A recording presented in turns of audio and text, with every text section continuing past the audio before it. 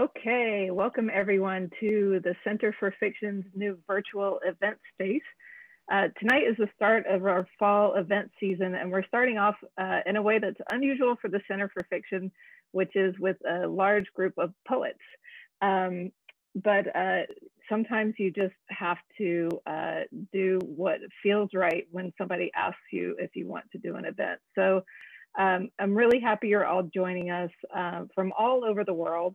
Uh, we, we do have two amazing fiction writers who will be on in the second part of the event who are also poets and who are editors of this great collection of poetry, uh, Chris Abani and Kwame Dawes.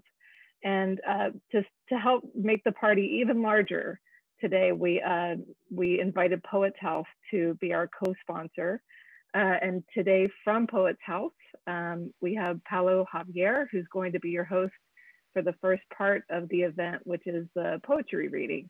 Uh, so I'm going to turn it over to Paolo, and uh, I'll see you again uh, for the second part. Thank you so much, uh, Melanie, and uh, welcome everyone uh, who's tuning in from wherever you may be.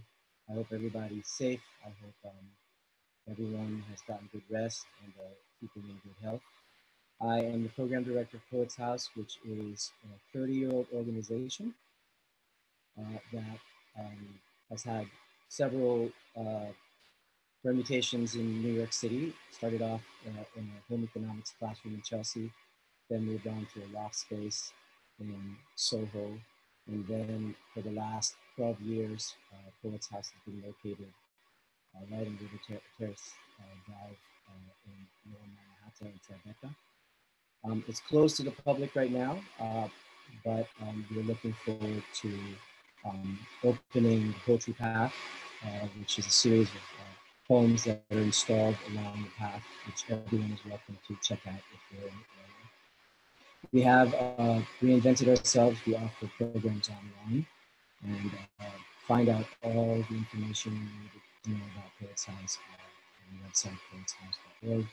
And uh, sign up for weekly e-blasts. There's a lot uh, in the fall that we're offering. And, send me send me a thing and just say hello.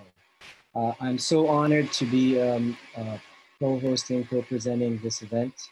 Uh, uh, thank you so much to the Center for Fiction, Melanie especially for coordinating this, uh, and Chris, and everybody involved with this brilliant, vital, necessary, and uh, the future of poetry, uh, the series that they've been putting out. Uh, just a short note, and I shared this with the poets. I worked feverishly with Kwame in the fall. Kwame, you remember this, hoping to include um, this series in our spring um, programming, but this was in the before time. Uh, I did make a vow to Kwame that I will make sure that um, we include poets from the series and the programs uh, at least every season. But we to such a fan of the series. I am enamored and love this new collection. It is truly a labor of love. I hope everybody watching this, I think there's a link somewhere. Uh, please uh, uh, buy a copy because it's uh, it's incredible. And, uh, it's a, a collection that insists that everyone will share. So I will be um, introducing poets in groups. I am uh, so honored uh, I, to, to, I've been introduced to the work of uh, these poets. Uh, I think um, a couple of these poets have roots in my borough. I'm streaming from Queens, New York, specifically Sunnyside. Um, but you'll find that a lot of the poets we're reading tonight are streaming from all over the world and across the United States. Uh, without further ado, I would like to introduce the first group of poets. Um, Safia Jama, uh, Jamila Osman, and Nkateko Masinga. Safia Jama is the author of Notes on Resilience, and I just had to share everybody Beautiful. And Safia was born to a Somali father and an Irish American mother in Queens, New York. A Kaga Fellow, she has published poetry in Ploughshares, Rhino, and Nodia among other places. Uh, uh, Safia was also a semifinalist in the Pleiades Press Editors Prize for Poetry. Jamila Osman is the author of A Girl is a Sovereign State, also in the title of that. Jamila is a Somali poet and essayist, streaming from Portland, Oregon. Uh, former public school teacher, shout out to that background, I'm a former public school teacher myself. Uh, Jamila is now an MFA student at the University and then Kateko Masinga is streaming from Pretoria and is a South African poet and 2019 fellow of the Ebedi International Writers Residency. And Kateko is the author of Psalm for Chrysanthemums. Uh, Nkateko is also a contributing interviewer for Poetry at Africa in Dialogue, an online magazine that archives creative and critical insights with Africa's leading storytellers. I am so honored and pleased to be welcoming all three of you Safia. Okay. All right. Hello, everyone. Um, if you can hear me, just nod. all right. I'm honored to be here, and I'm going to read a poem called Public Television from Notes on Resilience. Public television. As my father lay dying, what seemed cruelest that night was that truly there was nothing good on TV. We watched Hari Sreenivasan roam around Central Park looking for Pokemon, obviously bored and questioning whether he had taken a wrong turn in his career. And soon my father was nodding off, and I felt indignant that we couldn't at least provide him with some form of meaningful, if light, entertainment for his penultimate month on earth. My father had been a passionate watcher of the nightly news, and I knew in his final weeks that the news had let him down like a bad old friend, and there was nothing decent to watch nothing with heart or substance that could make my father cry like in the old days, watching a tawdry television movie on Lifetime with mom asleep on the love seat and me awake as he raised a hand to his face and said, Don't tell anyone I cried. And I would nod slowly because I had already started tailgating during the commercials. But listen, who is to blame here? And when exactly did it happen? I think, I still think we have a choice here, but I don't fault my father for turning away from the world and from our television set. Once he tossed our wood paneled black and white boob tube in the trash, raging like a maniac after my brother wouldn't turn the damn thing off.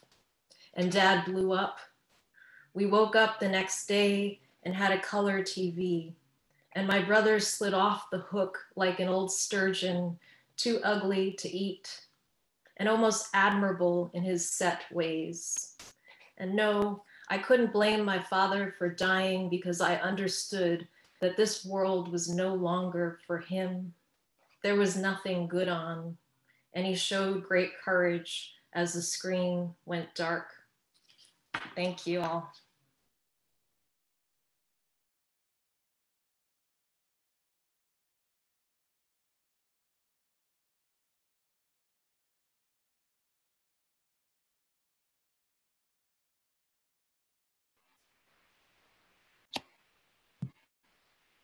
Think Jamila is next.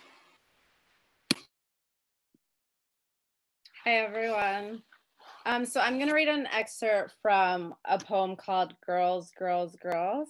And at the time that I was writing it, I was just thinking a lot, and I'm still thinking a lot about how to write about collective trauma without sort of using it as a shield against the violence that I'm complicit in and the violences that are committed in my name. Girls, girls, girls. We were girls once, and tragedy was only rumor. Before the US went to war with countries we might have been born in, before bombs were dropped over cities we might have been raised in, before we got our first jobs and our tax dollars massacred people we might have called neighbors, before Noor's mother was murdered by the man she married, before our brothers grew up to be like our fathers, before strange men called us unfamiliar words as we walked home from school, before the boys we grew up with slid their fingers up our skirts without our permission, before we learned enough Arabic to perform the funeral prayer, before the first body we mourned was our own, before we came to know the geography of our mother's grief, before we contorted our bodies to fill the shape of her lost country, before the first time we saw our fathers cry, before we tried to be perfect daughters to repent for their sacrifice, before we knew there was a border, before we looked for the border on a map and could not find it, before we found the border on the roof of our mouths, before the border was English and no one we loved could cross it, before we forgot the language of our parents' grief, before we left with only what we could carry on our backs, before we returned and, and found no one who remembered us. We were girls once, before girl was synonym for battle or country or ghost. We are girls still, braids thick as smoke, refusing to be martyred before our deaths. We answer only to the names we choose for ourselves.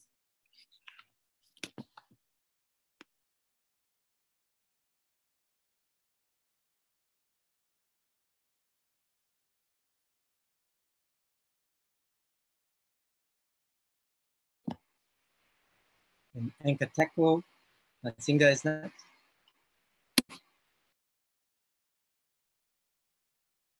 Hi, uh, I'm going to be reading a poem titled My Lover Pulls Me Off the Train Tracks. He holds me, hand against neck, and whispers, Thanks for staying into the groove that God made for only his fingers to feel my pulse and say, Oh, thank God you're still here. Are you trying to kill me? No, no, darling, only myself. We drive home in silence. The dogs barking restlessly at the gate as if knowing that I almost did not make it back.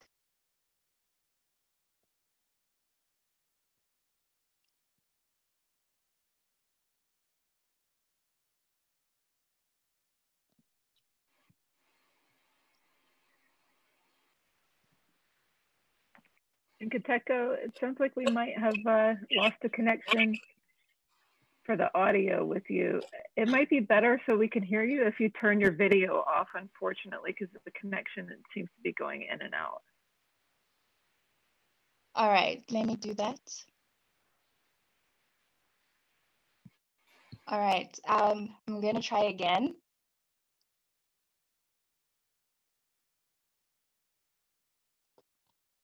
Can you hear me better now?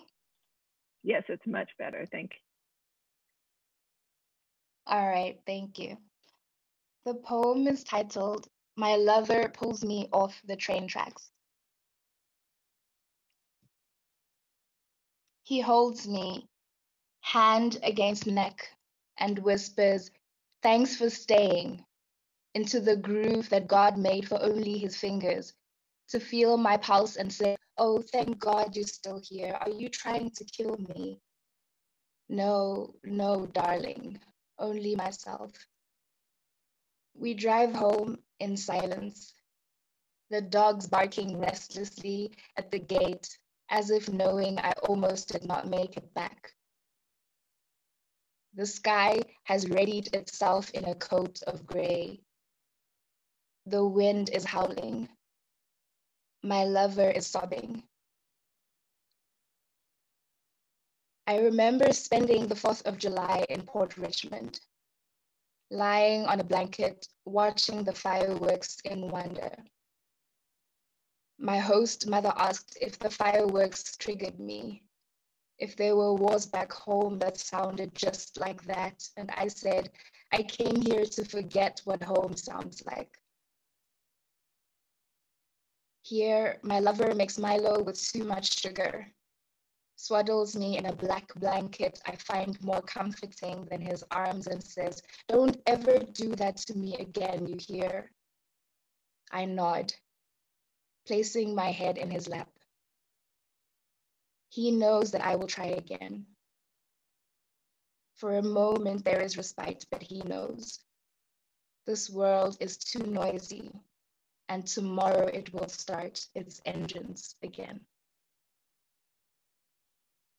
Thank you. Thank you so much, Nkateko. Uh, actually, we heard you perfectly these uh, last uh, couple of poems, and uh, so great to uh, connect with you. Um, our next uh, readers will include Saadia Hassan, Henneh Kyereh Kwaku, and Nadra Mabrouk. And as I hold up the books of our poets, I just want to say, uh, and just a shout out to the care and attention and love um, poured into these books. There's a foreword, individual foreword for each chapbook, and uh, I'll start acknowledging um, some of the folks who are introducing the work of these poets, since they're also among the authors. So for Sadia Hassan's um, book, we have an introduction, for example, by Matthew Shenoda, who's also involved in the curation of the series. And uh, Saadia Hassan is a Somali writer and advocate for first generation college students. She grew up in Atlanta, Georgia, and currently resides in Oakland, California. Her poetry and essays have appeared most recently in Seventh Wave, Long Reads, and the anthology Halal, If You Hear Me. How do you top the title for that anthology? Amazing. Penny Kirikwaku uh, is the author of Revolution of the Scavengers. And Henneh graduated from the University of Health and Allied Sciences in Ghana with a Bachelor of Public Health Disease Control. His writing has been published or is forthcoming in Tupelo Quarterly, News House Journal, Kalahari Review, Praxis Magazine, and elsewhere. He is from Ganasua or Ganushua in the Bono region of Ghana. And finally, Nadra Mabrouk, who is the author of Measurement of Holy. Nadra Mabrouk is a poet from Cairo, Egypt, currently living in NYC. She is a recipient of the 2019 Brunel International African Poetry Prize and the 2019 Poets and Writers Award. She currently works at the Academy of American Poets as a content assistant. I'm so pleased to welcome all three poets.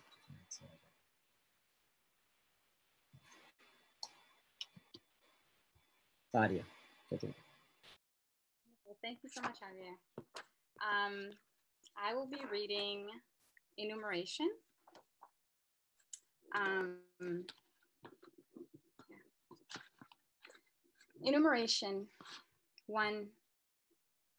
I am made smaller in my shame for remembering something happened, and I did not stop it. In truth, I could not. In all honesty, I did not know I could not. Two, I keep recounting the hours, the light inking the edges of the morning without permission, the prickly sweet smell of the air, the street and its dizzying din. For years, I kept prayer over the evenings spent laughing with my father, as if they may never again happen as easily as the notebook, the camera, the wallet disappeared. Three, I wake up one day in a city I've lonelied with my leaving, noting the newness of my life. I cannot tell you how or I can. I did not die from the shame, that's how. I memorized my responsibilities, paid my bills, but it is hard when I begin my long walk to the farmer's market in the middle of the afternoon on a day I leave home in a hurry, and suddenly a fact I had hoped to forget. A woman's body can be cleaved fresh as torn earth, and no one, not even her mother, can put it back right. Did you know? Four, men think they can take what they like as if no one will miss it. But I have always missed what was taken from me without permission. I wake some mornings bloated with missing. I root for it in the cupboard, the missing, and I root for it in the dirt. My hair, the men, their hands, the mist and the missing, being all that remains for lifetimes after, decaying the years, brutalizing the hours. Thank you.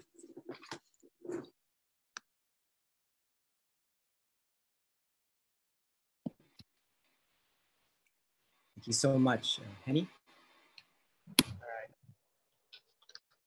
So I'm reading from um, Revolution of the Scavengers, and I'm reading the poem Revolution of the Scavengers. My son, I had it in my heart to build a house for the name of the Lord my God, King David. First Chronicles 22, verse 7. Ghana Web, news headline. Government begins demolition of judges bungalows for National. And the prophets agreed that David builds a temple in the name of the Lord. But can a man build a house for the Lord when the Lord has not asked? There is a still smell of a national temple, a national cathedral, needful, not needful, in the atmosphere. And as the nation reasoned, the Lord spoke to the prophets Your hands are bloody, man. Don't build a thing in my name with these bloody hands. Now the prophets asked the king, Are your hands free of blood? The floods have come to take the blood in your name. The birds have taken blood in your name. They come with your hands and leave with your hands. Your fingerprints are all over these graveyards. Bloody hands build no temples, my lord. So the king built no temples. And this was a wise king who loved people. Thank you.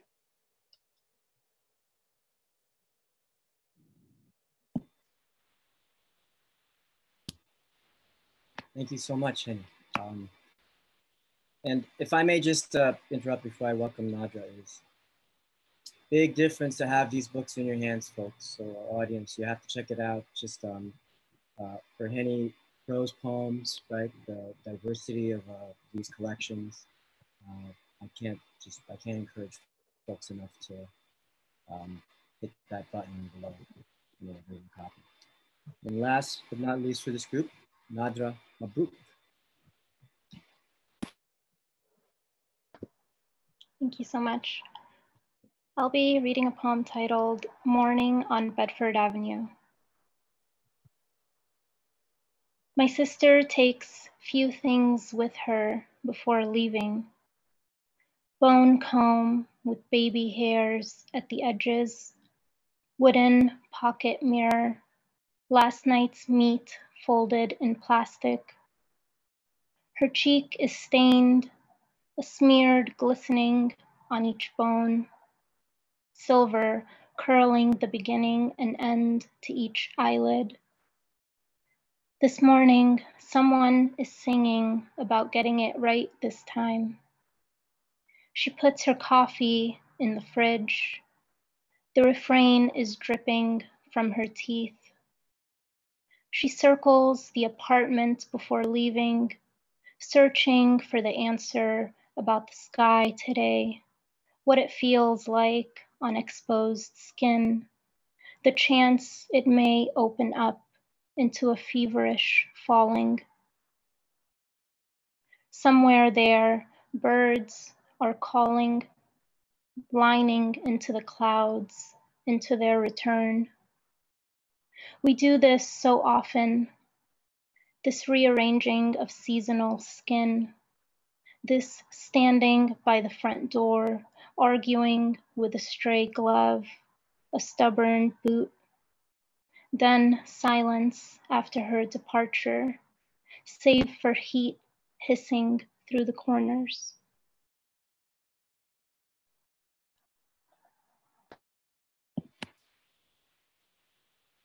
Thank you so, so much, Nadra. Um, I'm going to be introducing um, the remaining four poets uh, two at a time. I think we're making of time. I hope folks, uh, our audience are excited about what they're hearing. Um, and I'm just uh, eager to hear more and learn more about our poets. Uh, our next two poets are Tryphena Yeboah, who is the author of A Mouthful of Home, and Adedayo Adeyemi Agarau, the author of The Origin of Man. Uh, Tryphena Yeboah is a native of Bikwai, or Bekwe, Ghana. She holds a BA in journalism and an MA in development communication from the Ghana Institute of Journalism. She is currently an English graduate fellow in Chapman's University's creative writing program. And Adedayo, who is, I believe, streaming all the way from Lagos, is a documentary photographer and poet from Nigeria. He is an assistant editor at Animal Heart Press and a contributing editor of Barren Magazine. His work has been featured in Gaze, Mojave, Heart Review, Glass, the Journal Poetry, Honey and Wine, and elsewhere. He was the runner-up for the 2019 uh, Savage Poetry Prize, and I am so pleased to be introducing this. Athena? Hi, everyone. Um, this poem is titled A Piece at a Time. Some days it is as if she wakes up refusing to trust the memory of what happened before. My mother, on days when luck is all there is, when the air smells like skin drawing back to stick to a bone, bites into an apple which does not exist. We see her hands, cracked knuckles bent around the shape of an invisible fruit. My brothers and I watch the parting of her lips, stiff and numb, how they hunger for that which they cannot see. When an empty bowl is set before us on the table, we know the question before it is asked. What do you see? My brothers like this game because this means dinner can be anything they want it to be. Chicken coated with flour, fried plantain and black-eyed peas cooked in red oil. Between my ribs, I pictured the last stale bread I ate, how it floats inside of me like a dead fish, how by this time its crumbs are scattering inside my body, hoping to preserve themselves until the next meal. It comes in a black bag the heat of steamed rice threatening to break the rubber that holds it. My mother, even as she sticks her hand out the window for the blessing of leftovers, looks back at us and whispers, we don't need anyone to help us. Sometimes it is as if she wants to teach us a lesson. My brothers and I, with our eyes bulging from their sunken sockets, do not look away from the bag. What do you see? The boys pretend to look around. Begin the game of gratitude where nothing is amiss, where we cannot be too eager for a blessing because then we admit what we've never had all along. But the linings of my belly are plowing against themselves. The smell of curry drifting through the air has me dizzy and will knock me off my feet. I know mother has said, my love will not stop for anything. I will feed you with my heart if I have to. But there is the bag. There is the food in her hand, and we've gone two days starving. The waiting so severe, so rotten. My stomach so empty, so desperate it eats itself. What do I see? I press my mouth to her ear and when I speak, it is as if something inside of me raptures.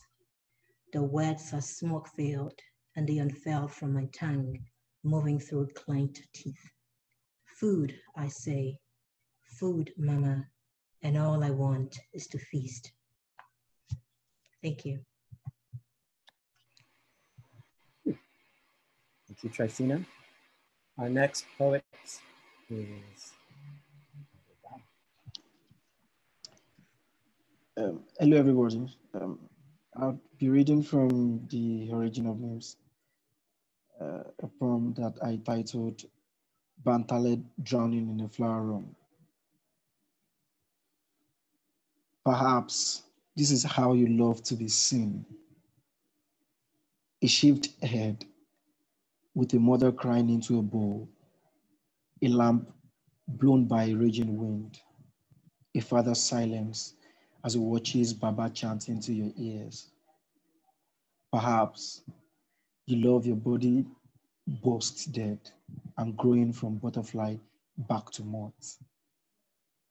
Perhaps it is your joy that in this room silence is what carries us.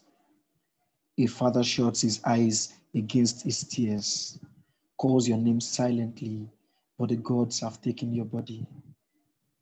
Perhaps your name wasn't yours. Bantale is stay with me till dying age. It is also your mother calling you out of Iroko to unmake every journey you have made. Perhaps each of your exiles is a reminder that home is a paradise of woods. Thank you. Thank you so much, Adedayo and Rufina. And our final two poets are Fatima Kamara and Afia Ansah.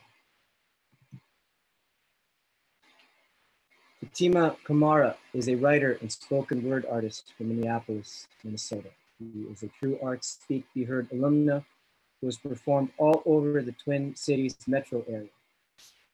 Fatima is a student at Metropolitan State University and works as the Programs Associate for True Art Speaks, an arts-based nonprofit organization that cultivates literacy, leadership, and social justice through the study and application of spoken word and hip hop culture. And Fatima is the author of Yellow Line.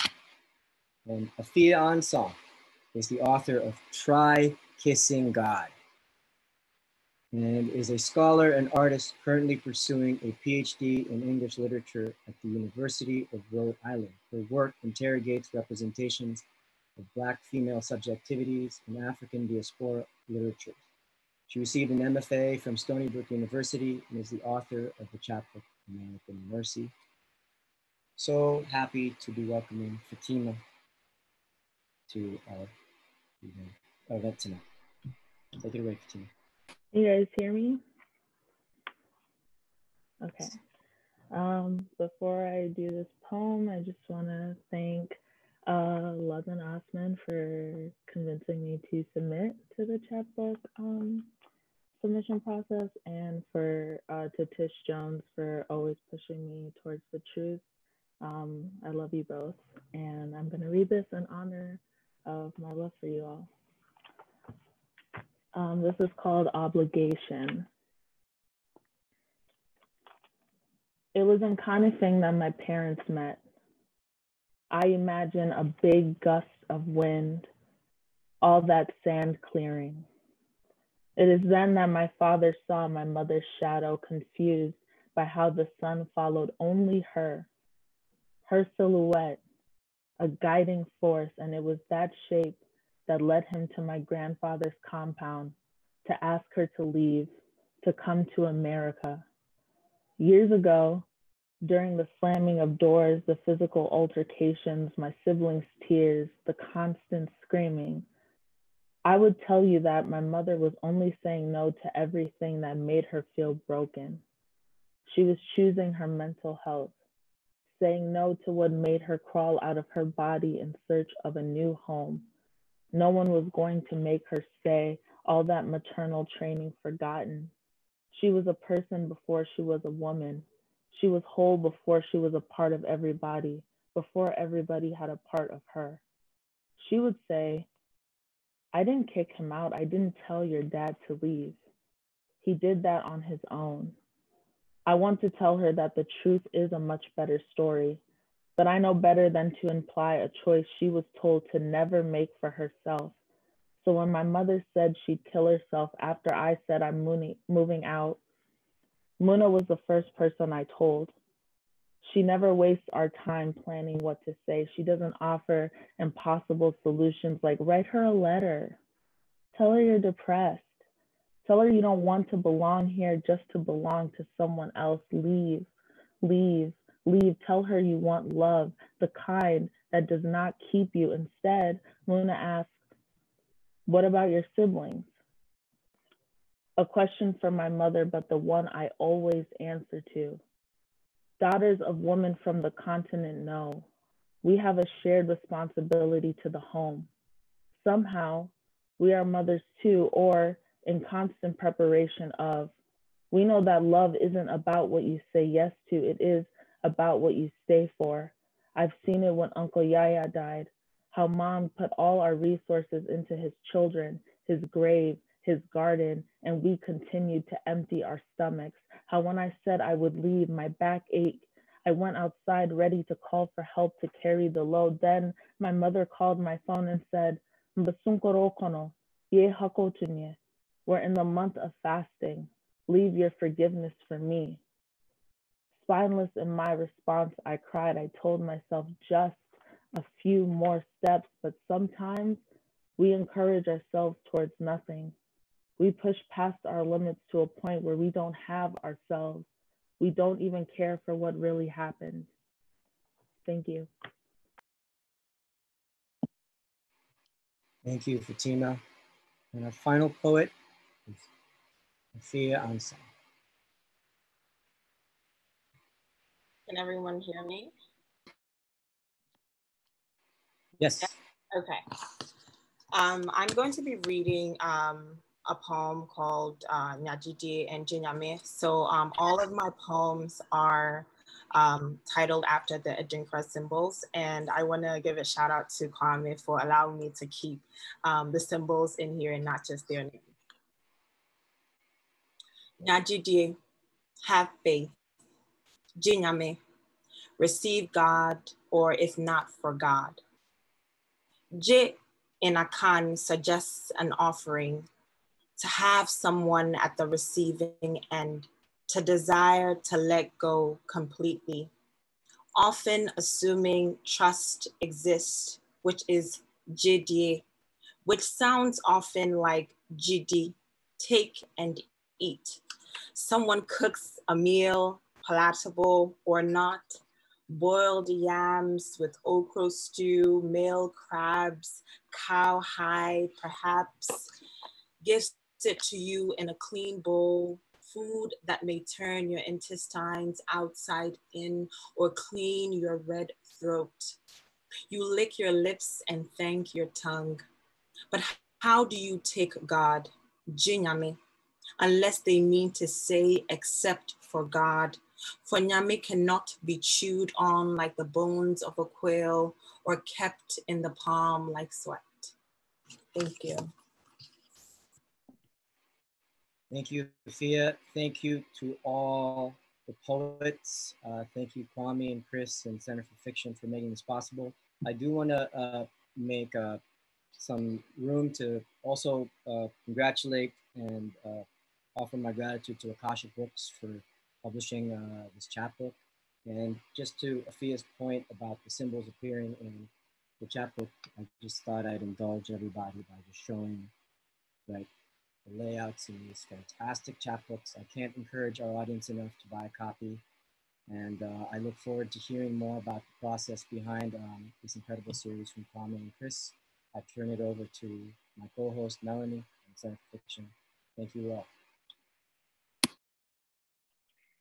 Thank you, Paolo, so much for hosting that. And uh, I'm just gonna spotlight my video here. Um, yes, and thank you uh, to the poets. That was incredible. I feel so uh, grateful to have heard all of your voices uh, on our platform tonight. Um, and uh, I'm excited to hear also um, about how these beautiful chapbooks came into being. It's really like the most exciting box set for book lovers um, of the year. So please avail yourself of one uh, by using the button that's right under the video. Um, and I want to bring up um, the editors and, uh, and our moderator for the evening. Kwame Dawes is a Ghana-born award-winning author of 21 books of poetry and numerous other books of fiction, criticism, and essays. He has won Pushcart Prizes, a Guggenheim Fellowship, an Emmy, and was the 2019 awardee of the Windham Campbell Poet Prize in Poetry. Currently teaches at the University of Nebraska in Lincoln. And Chris Abani, a Nigerian-born award-winning poet and novelist, currently teaches at Northwestern University in Chicago. He is recipient of a PEN USA Freedom to Write Award, a Prince Claus Award, a Lannan Literary Fellowship, a California Book Award, a Hurston Wright Legacy Award, a PEN Beyond Margins Award, a PEN Hemingway Award, and a Guggenheim Award. And uh, they're joined in conversation uh, this evening by Tjawangwa Dema. She is a poet, arts administrator, teaching artist, and an honorary senior research associate in the Department of English at the University of Bristol. Her chapbook, Mandible, was selected for publication by the African Poetry Book Fund as part of its inaugural New Generation African Poets box set. The Careless Seamstress won the Sillerman Prize for African Poetry.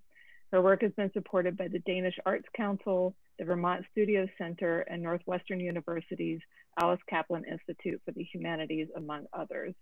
She has been named a Botswana Top 40 Under 40 Catalyst as well as Mail and Guardian Editor's Choice Award recipient. And uh, I am going to turn it over to you. Please welcome.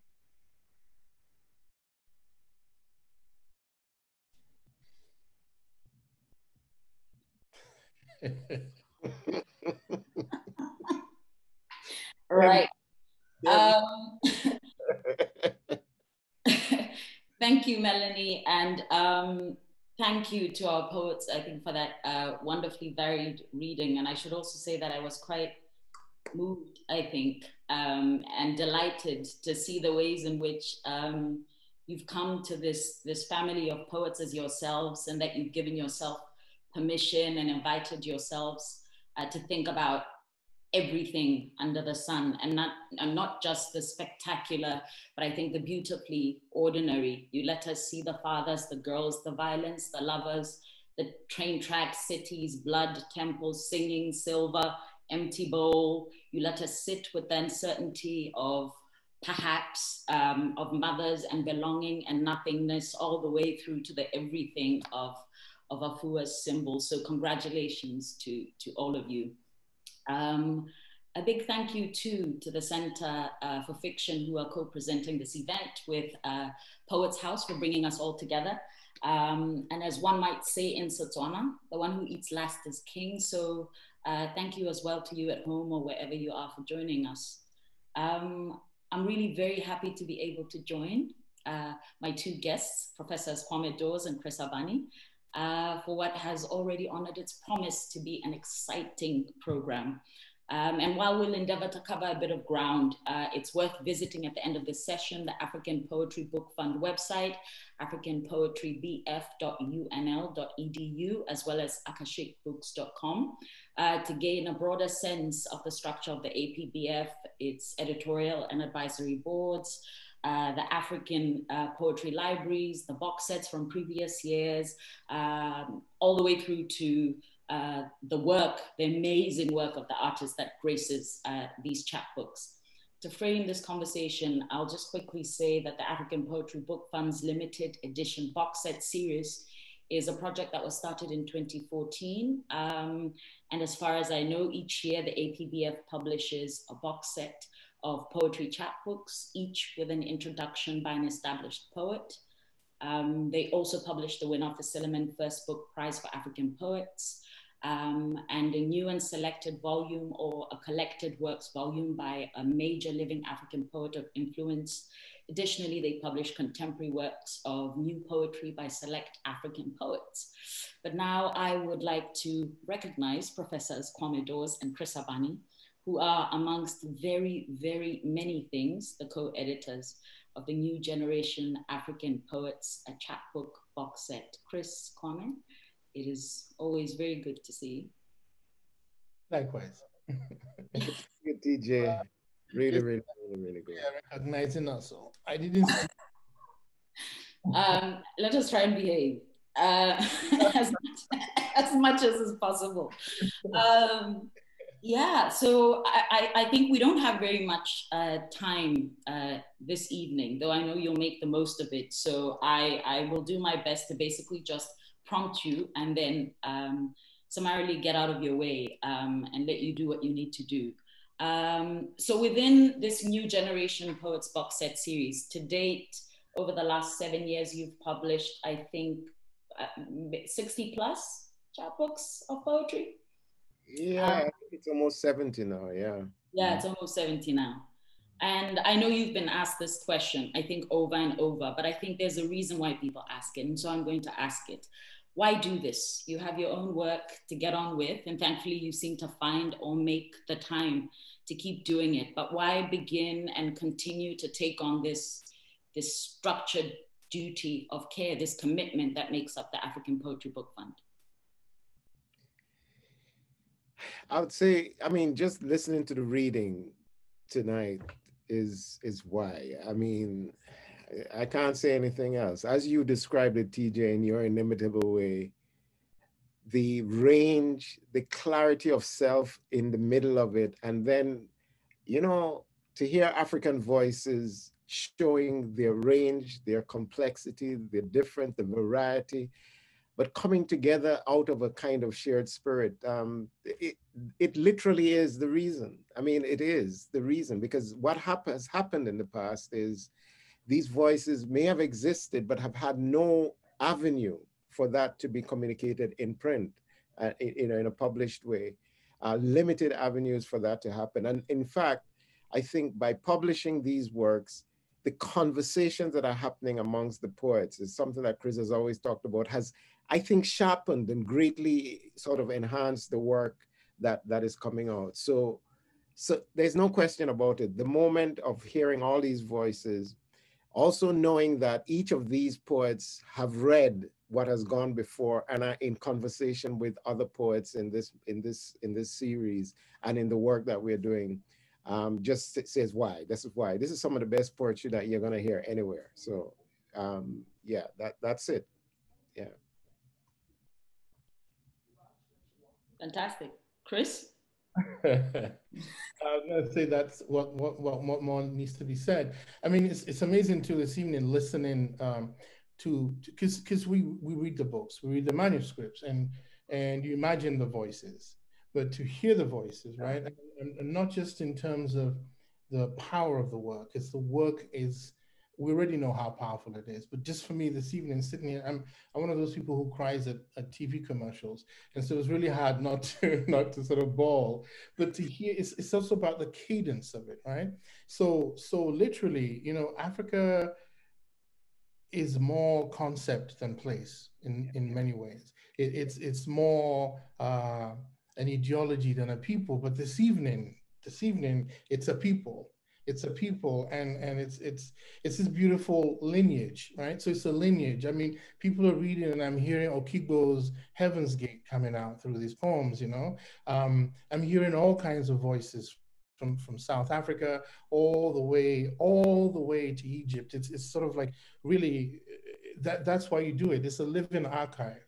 And and not that only is it a living archive but it's a living archive that thanks for certain interventions is also now a print archive. Yeah. And that is one of the interventions that needed to happen.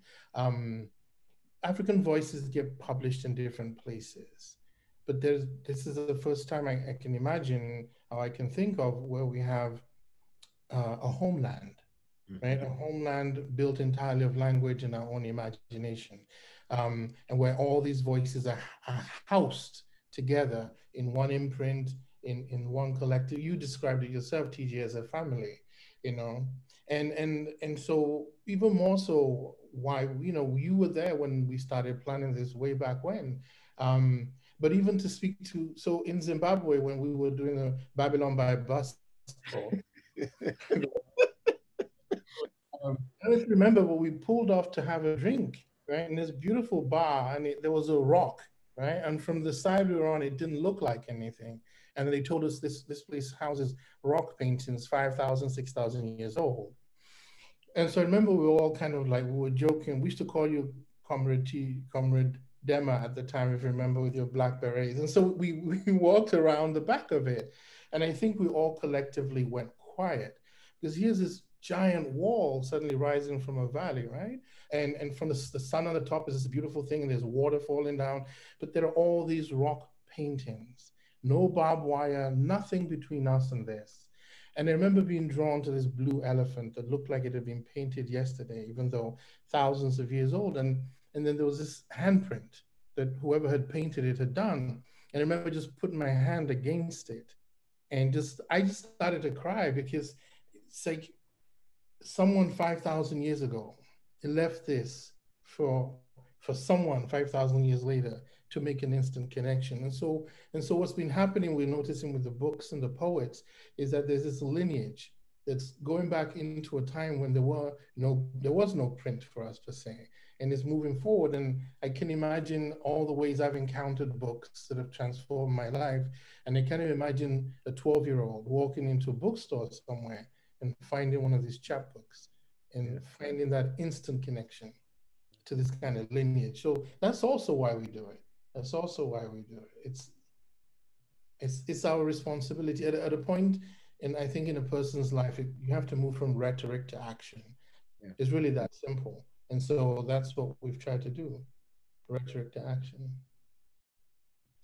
Excellent. Um, I was going to ask you about archives, but I think you you've covered this. But um, maybe Kwame might want to add something here, just to kind of say, I think maybe it was Tatu, so that would have been the third box set, yeah. uh, where I think in the introduction, Kwame, I think opens it by saying, but who was counting and kind of responds to, to you know, to his own question by saying, we are. Um, and so I had wondered whether thinking about both past and future archives was part of the way that you approach edit, maybe even aesthetically present the chapbooks because they are these beautiful material objects. You do want to keep them.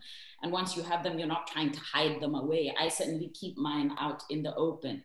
Um, so maybe if you have anything to add, Kwame, about how you see the chapbooks as intervening or entering into some conversation about African literary archives. It's a, it's a massive undertaking that that is sort of energizing us and sort of driving us forward, which is that, which which is sadly because of an absence, because of a certain level of uh, erasure, which is not accidental, but you know we don't have to get into that. But there is an erasure, a kind of dismissing of the intellectual, spiritual, and and genuine poet, the, the aesthetic power of of of of people who've come from that continent and have sort of affected the rest of the world. But yet, in the small, simple thing of books to be published, you know, when we started APBF, there were so few avenues for African poets to have their work published. But the impact is, has to do with what you're saying about archives, TJ. We do live in a, in a culture in which the preservation, the, the, the sustenance of a memory of a literature or a body of work, a body of intellectual work, is contained in various ways. And this is one of the ways that it is contained in because this is how we've accessed it. We've accessed it throughout the world. This is how we access it.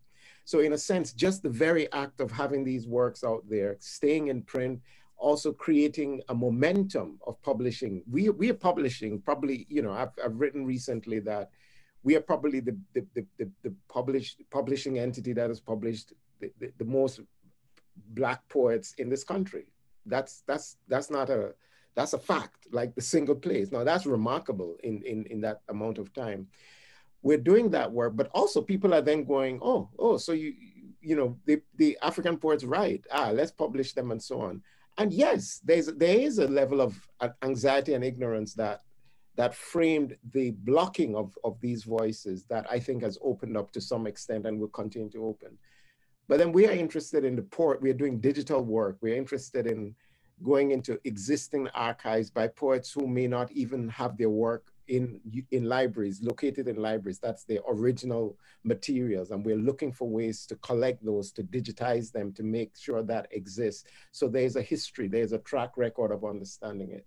We're looking at all the media published in the last hundred or so years about what people have said about African poetry. We want to bring that to the fore and pay attention to it, its gaps. It's you know, so it's a it's a massive, big-headed idea. But the point is, in out of that space, we call this Africa, is an intellectual power that we we have we have watched stolen, used, abused in other ways, and we are collectively battling to, to, to, to retain it, to celebrate it, to express it, and so on. And that, that we don't apologize for that. That's what we're doing.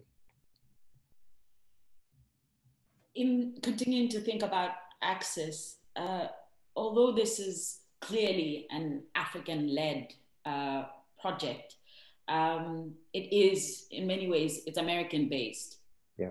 Um, so what does that mean for for distribution uh, in terms of maybe sales or maybe more than that in terms of readership so far who would you say has been the primary audience for these chapbooks yeah it's a good question and it's a it's a it's an interesting thing because now we get into the nitty gritty the grassroots of these things.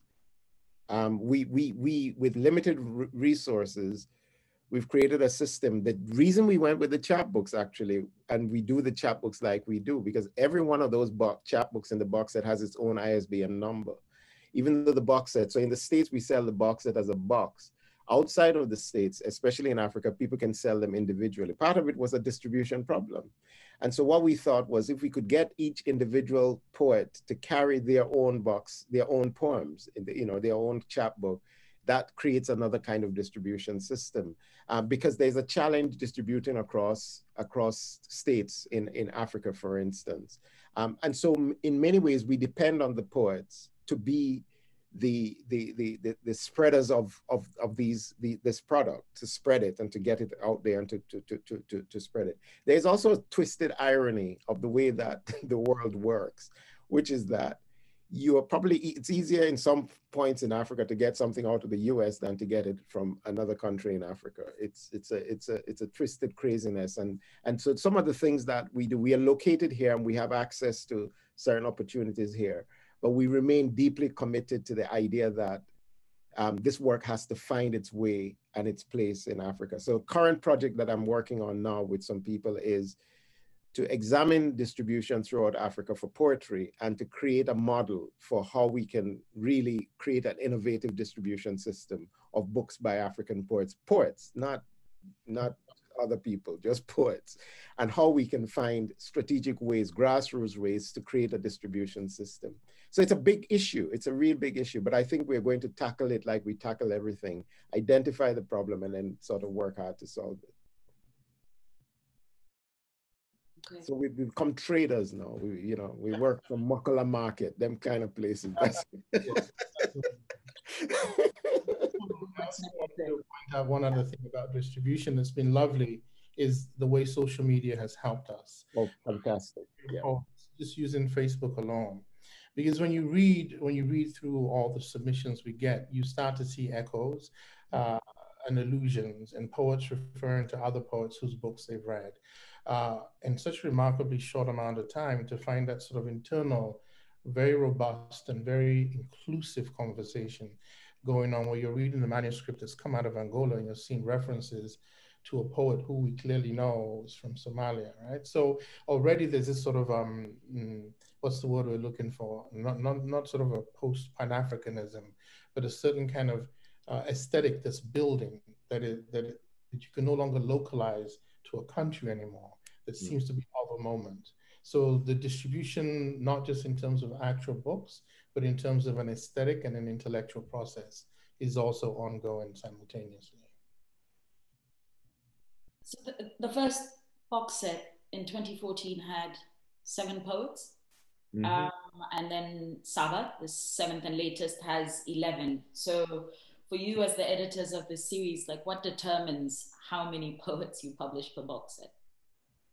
We, we are in trouble, man. We're, we're just in trouble you know we this you know the process and i should probably describe the process and so that you get a sense of it we we scour. We have a lot of network people network throughout Africa, throughout the rest of the world who are poets. Some of them were who especially we regard as we're growing a body of already published poets in the box set. They become part of our network.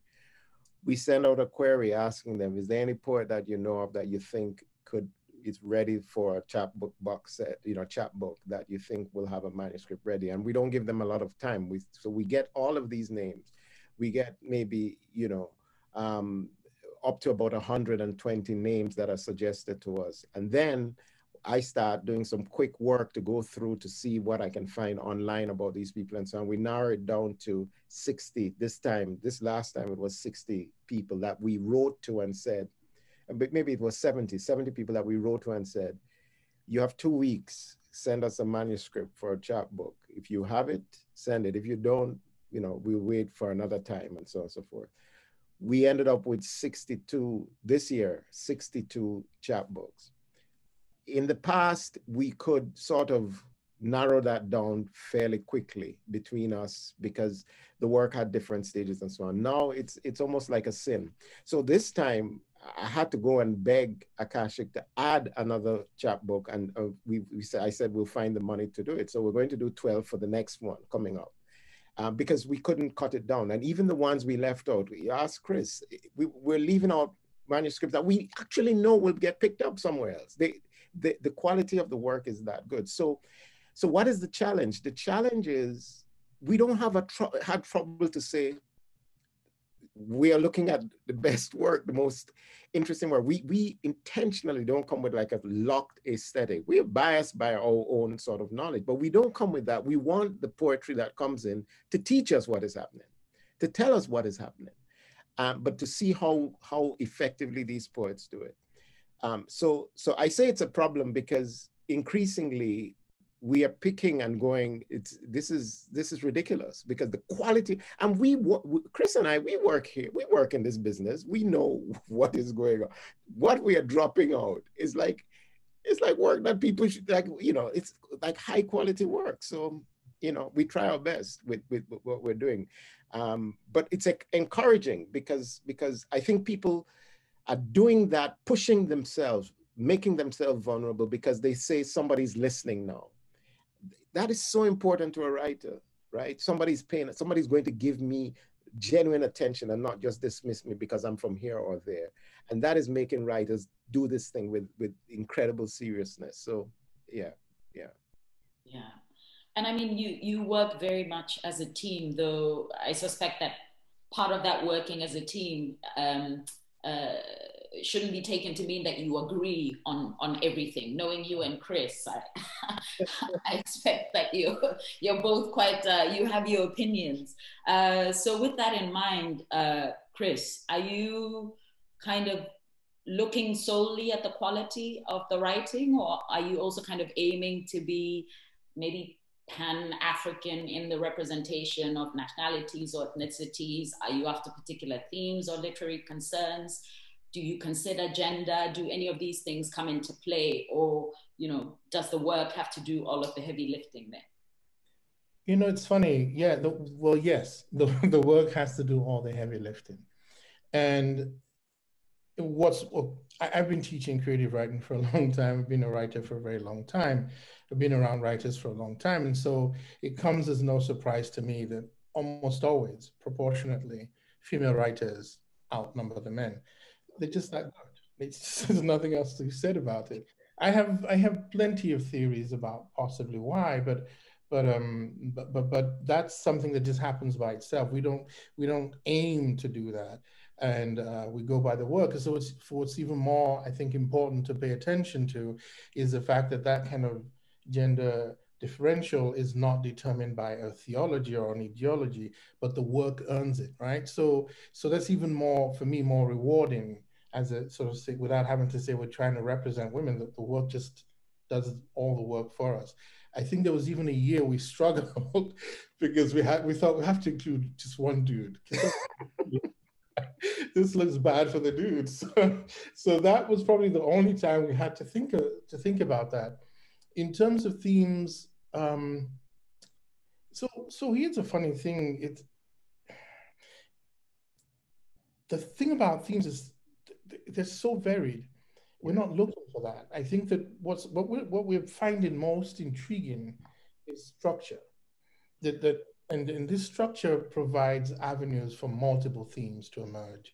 Um, and so do you know so so it's it's sort of interesting the way in which if, if you take even go back to say Ladan Osman's first book and look at the way she's dealing with gender in this kind of um, almost in a in a quotidian way around domesticity, but then it's not your domestic poem either.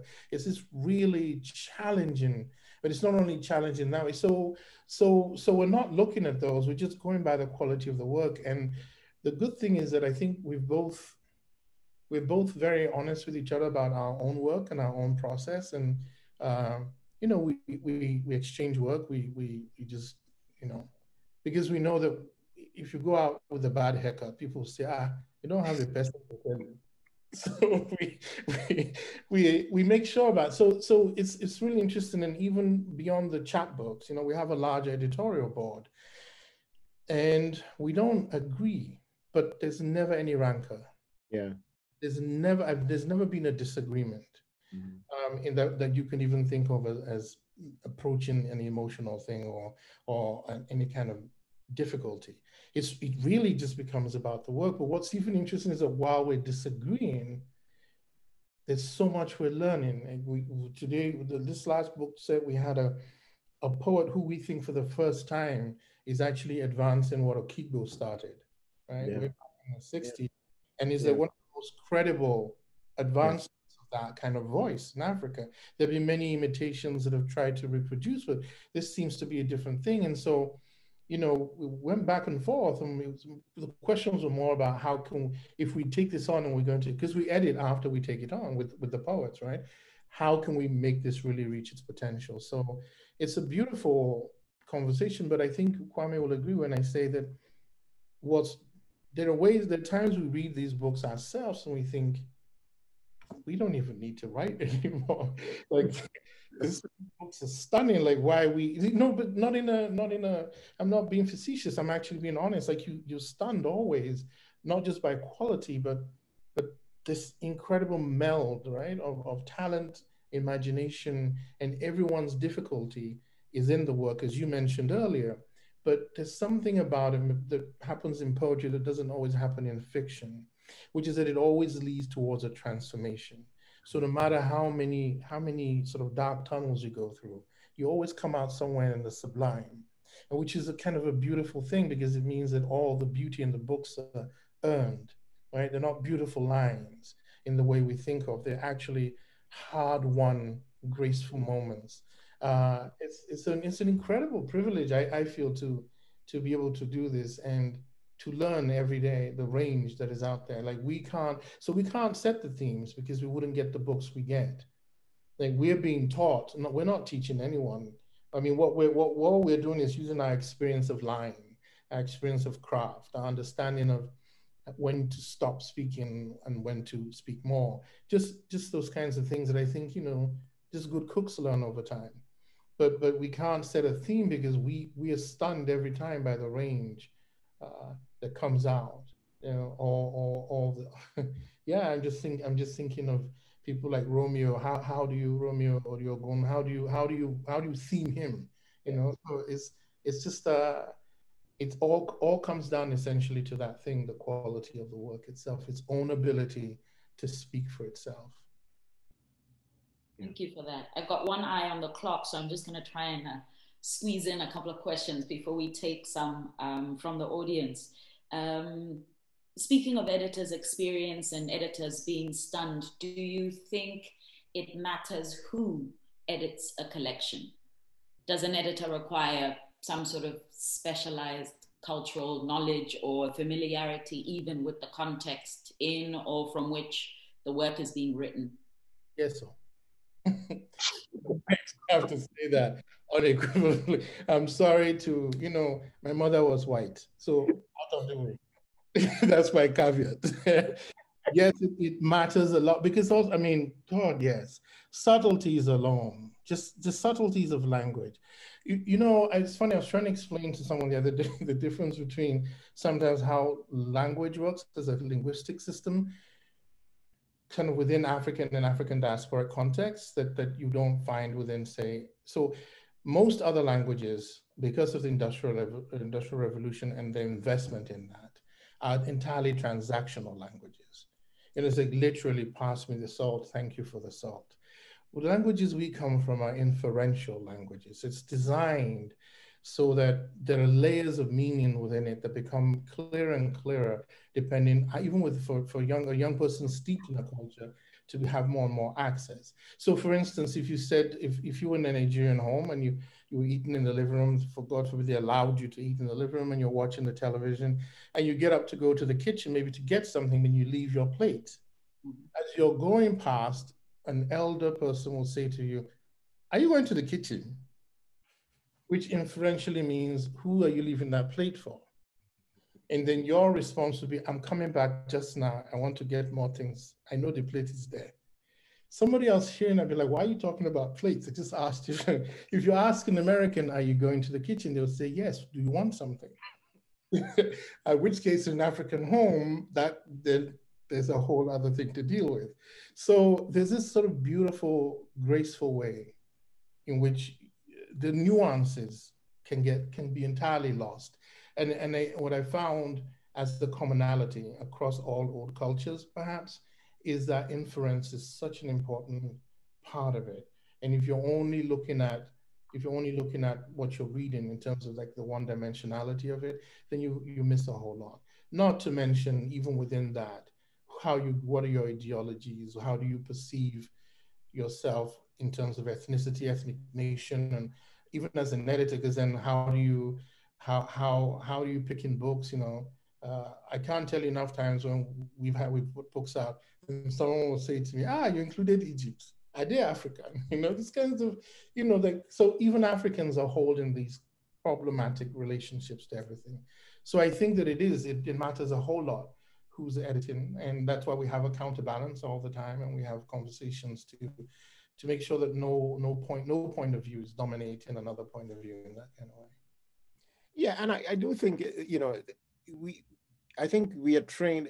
One of the advantages, one of the the the the the, the sort of backhanded benefits of being a post-colonial or being is that you were forced to learn elements of other traditions and so on and so forth that were oppressing you but you had to learn those traditions you had a broader kind of understanding while understanding your own uh, traditions and so on and one of the challenges that many editors who have, if they have a limited education, that is a limited uh, education, is that they do not know how to negotiate what they're reading. And, and this is this is not this is not just general readership, but an editor has to have the confidence to understand what they're reading and then challenge it if they need to, because they have an understanding of what is going on. And I think what often happens is out of goodwill, there's a kind of coyness about doing that because they don't want to offend and they don't want to look like they're, you know, they're, they're, they're um, showing some insensitivity to some, and that's because of ignorance. That's because of an anxiety about not having command of and knowledge of, of, of a, a range of things. So, so yes, so even I think have I think the shortcut is just get rid of a whole bunch of editors and put in the people who know what they're doing. the long path is editors have to retrain themselves, like really, really retrain themselves. And I, I think this is not this is this seems like a, a simple thing, but it's actually a fundamental reason why so many African poets, poets even from the Caribbean and so on, were excluded in journals and so on, because they just said it's not it's not, we don't understand what is going on here and, and not taking the time to understand it. I mean, you know, it's, it's, um, it's a bit of craziness, but like I said, it can be, it can be changed with work. And, um, and, and that's what we, we, we, uh, we, we do. We, we work um, we work to understand poetics of different countries. Africa is full of different countries. We have to know the poetic tradition of each of those countries, have some knowledge of it, and come to, with respect for it as well, even as we are reading reading these words. Yeah. Absolutely. Amen. Um, so I'll I'll sneak in this one final question, and then I think we'll take questions from the audience and just kind of I think follow the language question that uh, kind of you know was raised by something Chris was saying earlier. Um, so it's probably safe to say that a number of the poets that you've you've published are bi or multilingual, uh, but the African Poetry Book Fund is obviously an Anglophone uh, project. And maybe the answer to this is obvious, but could you say something about why this is an English language project? What is English facilitating here or allowing you to do? And do you have plans of incorporating other languages or translated work? Um, I, I, would say, just to start from the, the plans, we have put out recently this beautiful anthology of translated works from, from the Horn of Africa, mm-hmm. um, from, from Sudan. Um, we, we, we are in the process of working through some translations from the French. Um, and, and we have we have uh, an editor who kind of specializes on, on, the on the board, editorial board of the large APBF. Um, we're open to all of that, but so there, there are two there are two things to consider in terms of translation. One is simply the ability to have the translator who's good enough to render. And in fact, in one of the in instances, I think it was with the Sudanese collection, Matthew Shenoda had to step in a little bit so that, you know, we're translating from, from Sudanese into English and then sort of like from that English into a sort of like uh, much more accessible, broader, accessible English. Um, and even the matter of English itself is problematic, uh, just in West Africa alone, because we're talking about Englishes, right? There's multiple levels of, of sort of like a Pidgin, Creole, Patois. You know, if you're just taking from Sierra Leone, you know, Yamamide Naus, Amos O'Clock, all the way through to sort of like Warri Pidgin, where how are you has become which, from which one, and then the response is improvised as wizard. So you say to somebody, ah, I'm a wish, it's a wizard. So how do you even translate that English into a larger English? So there are, this is one of the things I think impeding the whole continent in terms of in terms of things. And I think people like Ngugi have been, Ngugi have been battling this question because even if you were to start translating, uh, uh, the, the different borders, of the, the Botswana in, in, in Botswana, and then just slightly over the border in South Africa, even that sort of distance creates these difficulties. So perhaps I think for us, the, the privilege for us is coming from Anglophone Africa um, and sort of having grown up in a context where it was perhaps an easier way of dealing with larger numbers of representations. That was partially behind it. We just happened to be English speakers and we needed to get, we needed material quickly that we could build an archive with quickly. And that sort of became the way. And, and but what's been interesting is sort of the ways in which uh, those Englishes are being troubled, right? If you were to look at um, uh, January's Children, for instance, right, by Safia Elhillo, is sort of like the, the, the, Arabic text, not even translated in it, and things like this. So it's sort of questioning all the time how to break those Englishes. But that's just one level of it. I'm, I'm sure Kwame has a, a yeah. Very answer for that. I, th I think so, and I think I think what Chris says is true. I mean, the, we so the APBF is fundamentally operating uh, through Englishes, and therefore we are so the, the, the, way to reconcile at least what is obviously a necessary thing to pay attention to um, within the limitations of what we can afford to do um, is through through creating more translation opportunities. And then and so we, currently when we translate from say french and so on we publish only the english version of it right?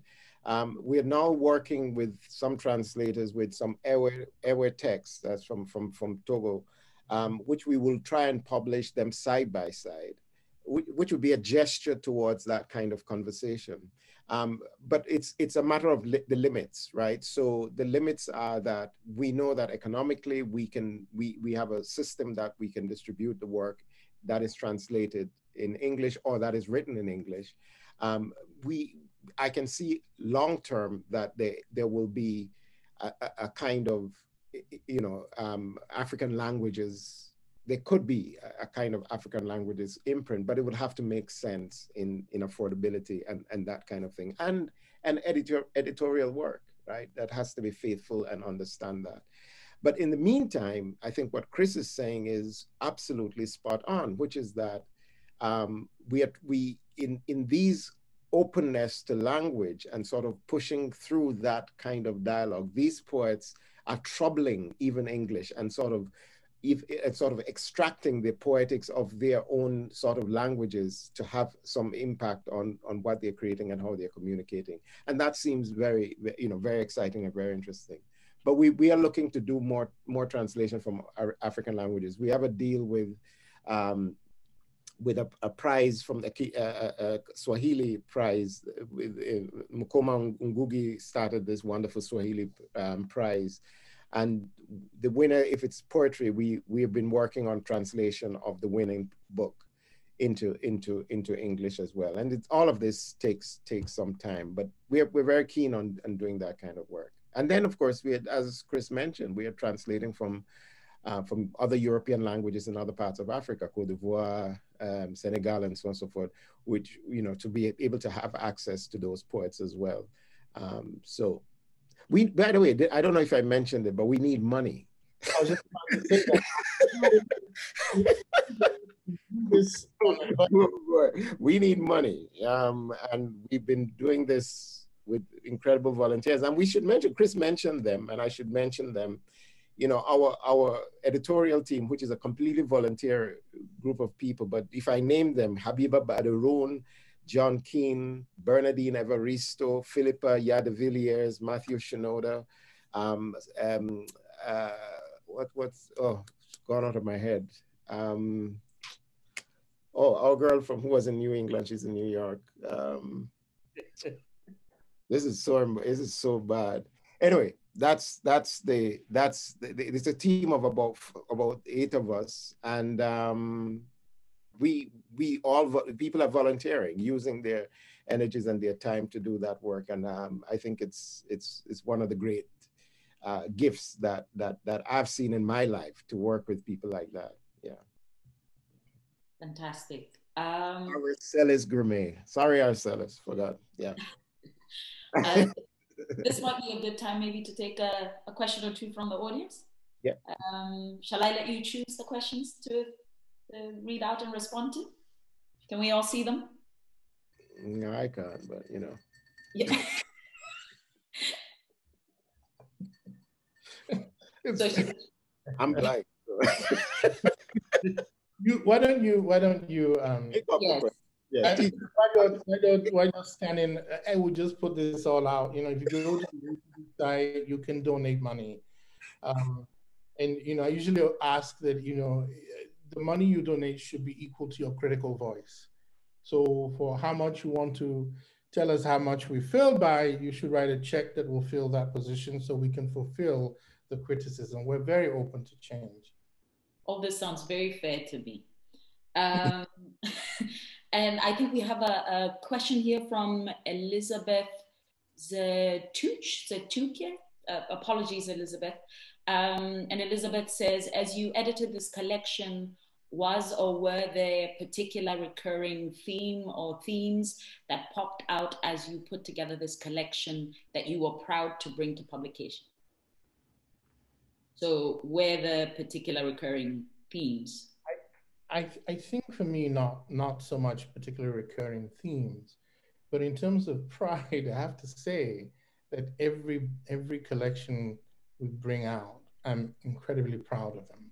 Yeah. Um, and I'm not proud of it because because of, of the curation work that we did, even though it's it's it's back and forth and balancing, like even trying to figure out whether which books go after which books, and to make sure we. It's almost like it's like an old school mixtape, and if you think about it in that way.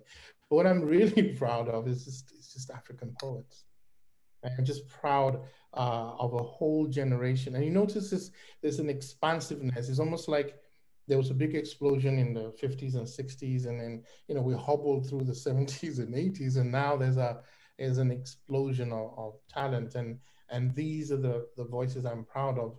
There's a courage too that comes out in this work, right? That I don't think generations before might have even had that courage. Courage to break cultural taboo, courage to speak up even when your body is endangered, right? Uh, people speaking out about their sexuality, about various kinds of difficulties they've been through, sufferings, and so on. Uh, that that and, and the vulnerability at the core of all of this, uh, that none of which compromises the art. So I'm proud of that, and I stand by every poem, every book. Um, we've we've done a, few sort of un, unexpected um, fundraisers, and our pitch is just to start reading poems from the books. That's really how we've been getting donations. We turn up at an event and we say, we want money, and here's why. And we just read random poems from the books. And the response is always remarkable. It's, it's that's what brings money to facilitate more of these publications. Um, so I, I, think that that's what I'm proud of, the, the work itself. No matter what you say, you cannot fault the work. You don't have to like it. You don't have to agree with it, but you cannot point to a single poem or poet in these chapbooks we put out, or in any of the Sillerman books, or in any of the books we re-edited and re-released, and say why, why this? Mm-hmm. Any degree of intellectual honesty. Yeah. Yeah. I think so. I, you know, the, the, the thing I would say is um, we so at the you know we in the process of putting it together themes may merge and so on but of course there's a danger because you know africans are africans are very enterprising people so if we sit down here and we say shoes are just like a thing that is happening right now I guarantee you next year we'll be getting like 200 shoe manuscripts. So, so, can, oh, you want shoe? We do shoe. I can do shoe. What kind of shoe do you want? I'll give you a shoe. So, so, so, but, but people can read that. What you can do is when you read the box, but this is what our poets do. This is what I did as a poet. I read what was happening and I started to say, okay, what can I learn from this and how does this make sense to me? And how can I be true to my own self and my own experience and articulate that in language that is mine? And I think that's what poets are doing. And what is exciting about it is I mean it. I like I don't, I'm, I'm not joking.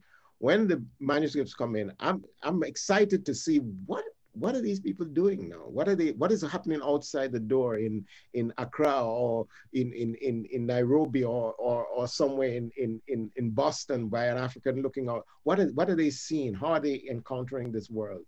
And that to me is is is pretty darn exciting. Somebody else will do that work of sort of working out the themes and so on and so forth, which we are planning to get happening. You know, we're working on that side of things, but as it stands, the work must do its own effort. I saw one question. It wasn't quite a question. It was, TJ Dema is like so eloquent. We're going to very quickly move past that um, to our final question, uh, from Roni Bopla, uh, uh, who says African writers are a minority in a minority in my community. So, what are some of the ways that you have successfully done outreach to help them write and share their writing, especially in this very unsocial period? Um, so, maybe a, a, question broadly about uh, encouraging uh, all communities and perhaps communities that might not kind of in, intuitively respond to a call to submit or to the existence of the APBF? How are you reaching out to, to different communities? Well, I'm going to perhaps take this back historically a little bit. Um, only to say that APBF is possible because of earlier interventions, right? So when I was living in England, the, first ever poetry book, I mean, poetry workshop I attended was run by Kwame Dawes, who was only a couple of years older than me and who had come and won the Forward Prize very early in his career and realized that Black British poets, wherever your original home was, had no access because we hadn't we had no mentors, right? And so between him and Bernardine Evaristo, who was running uh, uh, an outreach program at the time called Spread the Word began a series of workshops um, called the Afro Style School of Poetry. And, and it was it was it was amazing and groundbreaking. People you hear about now, Roger Robinson, they, we all came out of this. Bernardine Evaristo herself, we all came out of these interventions. And then and then So, so then when Kwame was was teaching in South Carolina, had a whole chapbook series for African American poets there, and book book projects. And then I started running uh, the Black Goat Press with the help of Akashic, who you know don't get enough credit yeah. for how, how yeah. African they really are. and, and he stepped in, Johnny stepped in, and the role again was to publish Black and African poets who were doing unusual things. So these interventions had already existed. Uh, we've been doing this work for, for time, and in fact, all of us met because uh, we had, we had convinced. Oh my. We had convinced. sorry about that. I don't know technology. We had we had convinced Peter of, of Poetry Africa to do a book tour, of an African poetry tour through many countries. And in fact, this particular APBF came about because we wanted to publish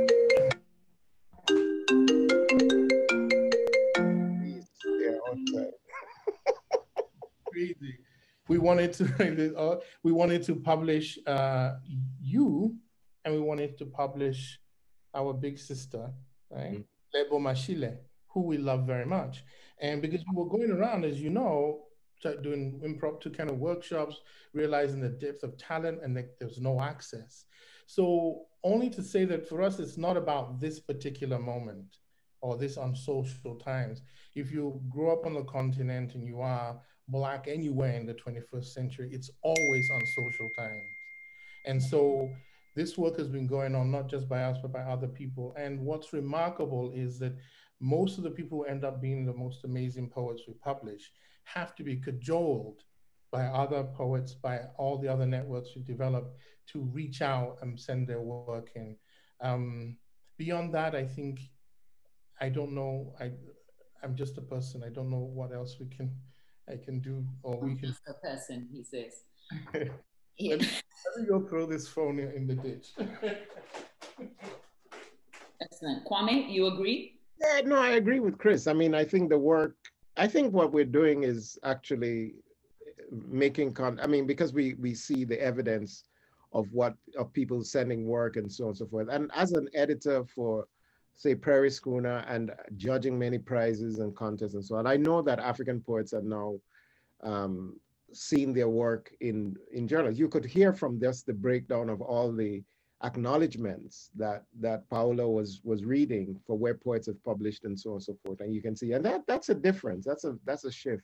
And it's a shift that's been aided by technology, right? I mean, the truth is submittable is now the way that people submit works. You know, the, in the old days when you had to mail the work in, very many editors or very many um, slush managers would just ignore work from outside of the country because it was too costly to send it back there.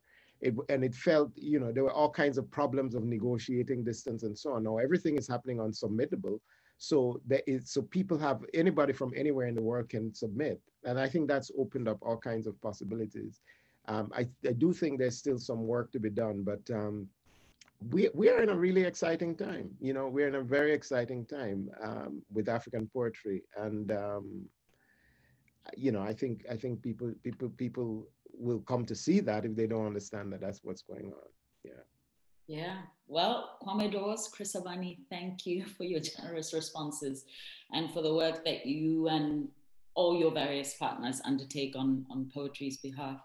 It's much, much appreciated. And I think now um, Paolo and Melanie, I think, will rejoin us. Um, and there's Melanie. Yeah. I, I don't know if Paolo's going to rejoin us, but I send oh. you his thanks and I thank you all. Thank you, Chawama, Kwame, and Chris uh, for sharing the voices of these amazing poets with us and for um, sharing with us uh, all the work that you're doing to amplify even more voices. I did put the, uh, the website for the African Book Fund in the chat so um, I hope everybody finds their way to the site and uh, to, to learn more about the work that you're doing. And uh, I hope you'll both come to Center for Fiction when you publish your next fiction books. Uh, but thank you for bringing us a night of poetry.